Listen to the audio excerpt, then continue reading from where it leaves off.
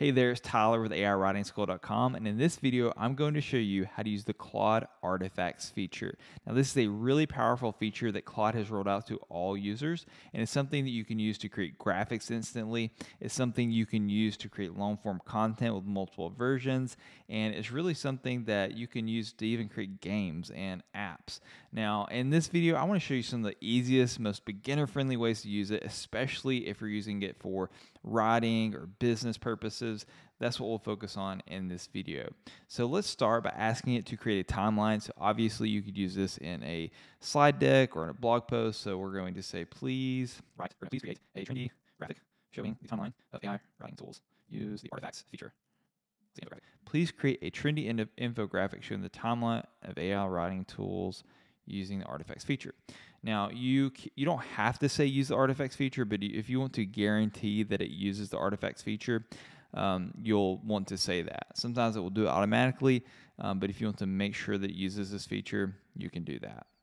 All right, so here we have the timeline 2010 to 2015, 2018. It talks about GPT, ChatGPT, and even goes into present time. Now, something you can do, you can actually edit these artifacts. So we could ask it, please revise the graphic showing the timeline in horizontal fashion, include mentions of Claude.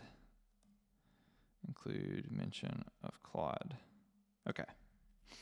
So we're going to edit the written content and we're going to edit the style of presentation for this graphic. And that's one of the things I love about Artifacts is that it will show you the version here, version 2 of 2 now. Um, so if you want to go back a version, you can go back a version. You can even reference versions to Claude itself. All right. So obviously it kind of messed up the um, text here, but it did accomplish what we asked it to do. And so all you would need to do is just go back in here and ask it to fix the issue here. So like you would just say, fix the text sizing issue. Um, but we're going to move on from this, and now we're going to jump into another example, one of my favorite ways to use uh, Claude artifacts, and that is creating multiple uh, artifacts and creating multiple versions of the artifacts. And so the use case we're going to use here is creating an ebook. Please, here outline, and chapters artifacts. Please create a ebook, ebook outline for the AI writing revolution ebook using the artifacts feature. And the reason we want to ask it to use the artifacts feature is because if we did not use the artifacts feature, it would just compile this in a ongoing chat. And I don't know if you've ever, you know, if you how long you've been using Claude, but if you use it frequently and use it a lot, it things can get lost. It looks like we have uh, unexpected capacity constraints. I'll copy paste. We're going to go back actually. We're going to try this again. And sometimes, you know, Claude, it runs into usage issues, so this isn't uh, that uncommon. Uh, so we're going to give it one more chance. All right, now it's going to create the outline using the artifacts feature. Great, now we are rolling. Uh, so we have this artifacts feature, the introduction, chapter one, chapter two. Okay, this is great. All right, now we're going to say, please write chapter one as a new artifact. All right, so now we're asking it to write a new artifact. Here we go. So now it's going to write another artifact. What you'll love about this is now, as you can see, the chat, instead of having really long strings of text, we have a document for the ebook outline. And now we have a document for chapter one. Okay. And what's really cool is if we wanted to say, let's edit this. Um, oh no, we have Claude issues, service disruption. That's not great. Let's go back here.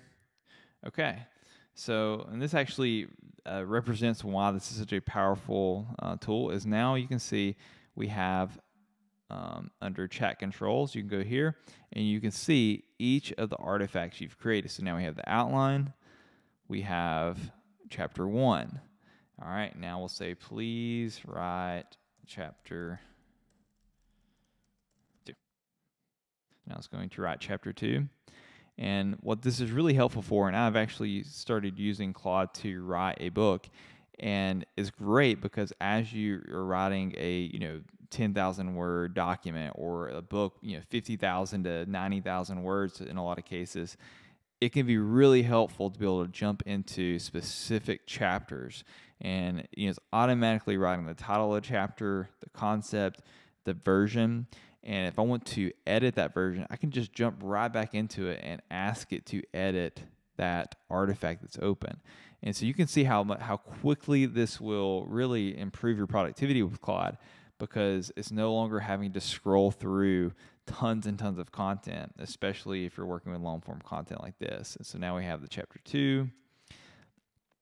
It's looking good. All right, so this is really one of the best ways I would recommend using the Claude artifacts feature is writing an ebook, is writing content.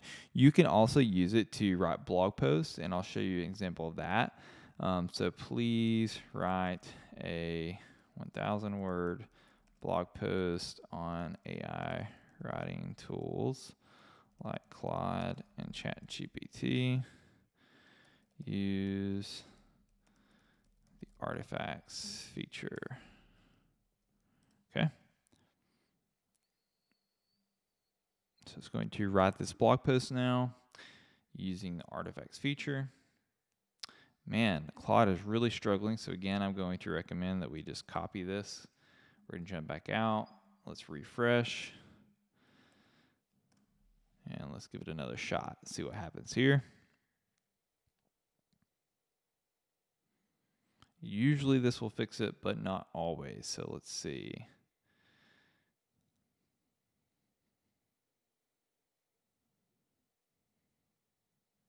Okay, still working on it. There we go. It's going to create as an artifact. There we go. It's giving us that.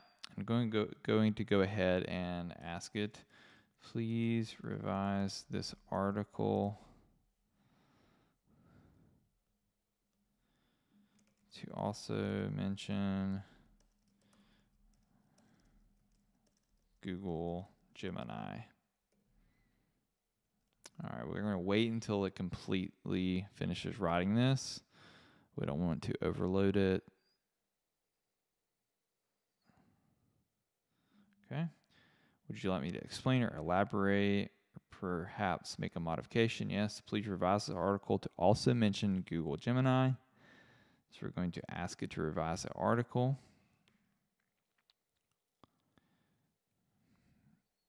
It's really struggling. I'm using the pro version. I guess it's having a tough time tonight. So let's refresh.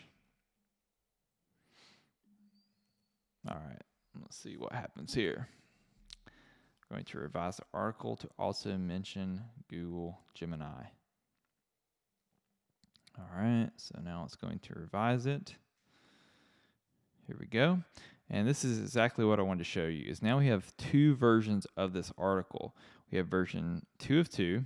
And so after this finishes, if we want to go back to version one, it is created within this document in this version here. So we have version two of two. We can go back to version one and compare that to version two, making it really, really easy to just keep track of the content that we're creating and the different iterations on that content. It's even notating how it's added Google Gemini, where it's added it.